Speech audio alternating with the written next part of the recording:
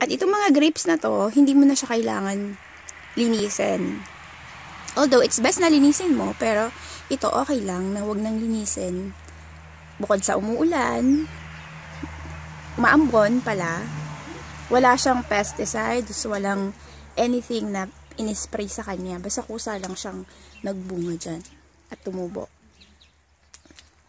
Dito kami nag-dinner sa bahay. Tapos sa labas nun, ng dinner table, may nakaganito na grapes.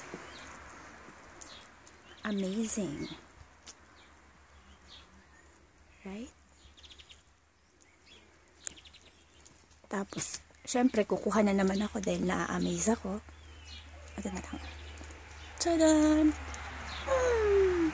Ang harap. Ito yung ano, yung, yung, yung, Tapos may green din. Ate Glo, i- ibig sabihin to, hilaw pa to. hindi, na rin yan. Green grapes Ah, to, green na lang. Ah, ah, oh. Green grapes to. Ito pala, oh, pasas na. How come na hindi pa siya hin... Ah, fresh pasas. Imagine that. Mm, green grapes. Ah, magpapasas na to. Naniwala naman tong isa. Oo nga, kakainin ko pa naman. Loko ka, bata ka. Naisang ko si Ate Mapit. Naniwala magiging pasas na. Oh, di ba? Ay!